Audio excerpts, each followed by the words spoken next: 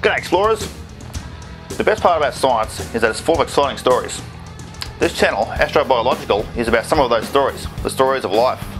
I say stories because places other than Earth may have stories to tell as well. And now, we've already visited Europa once or twice, and we've explored water in the solar system, but what other stories are there? What about this little moon here orbiting Saturn? Let's see what stories Titan may have to tell.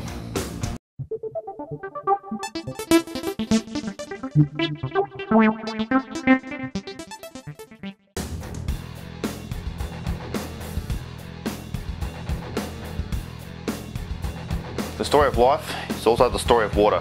Water is the medium within which all biological processes take place. All metabolic activity within all life on Earth happens with the help of water. No ifs, no buts. So is Titan special because it has water, right? Well, yes it does, but Titan's actually special for a couple of other reasons. First up, what is Titan like? It's pretty harsh. It's a frozen wasteland strewn with boulders and gravel made of ice. Suppose the image taken by the Huygens lander in 2005 is the only picture we have from the surface of our world in the outer solar system. It looks like a big dead mud patch, doesn't it? The temperature in Titan is a lethal minus 179 degrees Celsius, and the atmosphere is a toxic mix, mostly nitrogen with a dash of methane. Nothing we unique to live there. So let's take a look around then and get to know Titan a little better. Here it is from space. It orbits Saturn. From all the way out here, it looks peaceful. Beautiful even. It's large for a moon, larger than our own moon. Only Ganymede exceeds Titan as your largest moon in the solar system. There's something not quite right about this view of Titan though. Do you know what it is? Let's get closer. Titan has an atmosphere. Yes, an actual atmosphere. Plenty of planets have atmospheres. Titan looks a little bit like Venus here. But Titan is unique because it's the only moon in the solar system with a substantial atmosphere. Its atmosphere is actually thicker than the atmosphere we have here on Earth. Clouds even. Let's see through those clouds and get even closer.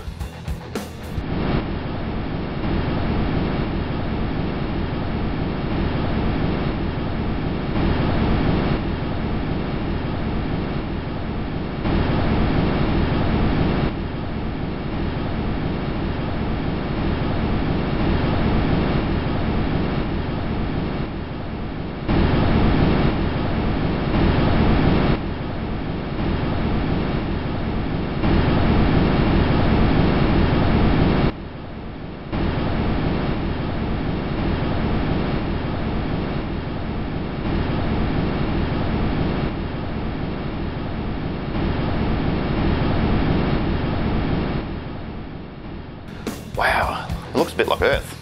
In fact, many astrobiologists believe our planet may have been something like this before life appeared. That's why many scientists want to study it. Maybe like travelling through time to ancient Earth.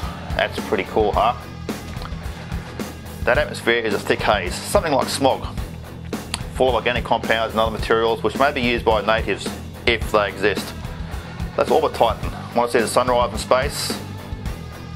So there, lakes, seas. Yes, believe it or not, this little moon has seas. There's clouds and weather like Earth. It even has rain. Imagine standing on the surface of one of those lakes, seeing the sunrise, or seeing Saturn rise. Here's where Titan becomes exotic though. Those seas, lakes and rain aren't composed of water. They're liquid methane. The same thing cows and sheep produce when they fart. You too for that matter. Now let's move on. The extremely extremely cold plus that thick atmosphere causes methane, which is usually a gas, to remain in a stable liquid phase. Much of the conditions on Earth allow water to be liquid at room temperature. That one little property of water really is a huge deal for life here. So Titan has astrobiologists wondering, could something in Titan take advantage of the properties of liquid methane in a similar manner? When we look at Titan, is something looking back at us? Who knows what's on those seas? So let's go for one final journey across this incredible place and allow ourselves to wonder.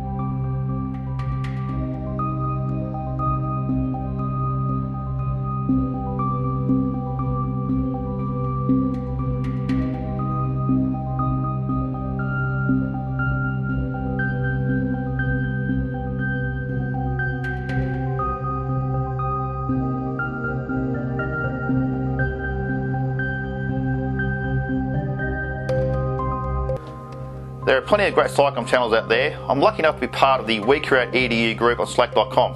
Channels like Socratica, the Science Asylum, and Up and Atom are just some of the great science channels I've met. Support these channels, and especially Up and Atom, another Australian.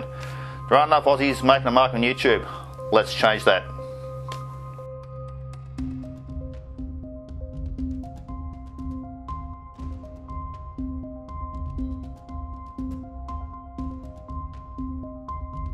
I hope you've enjoyed this episode of Astrobiological, and I'll see you next time.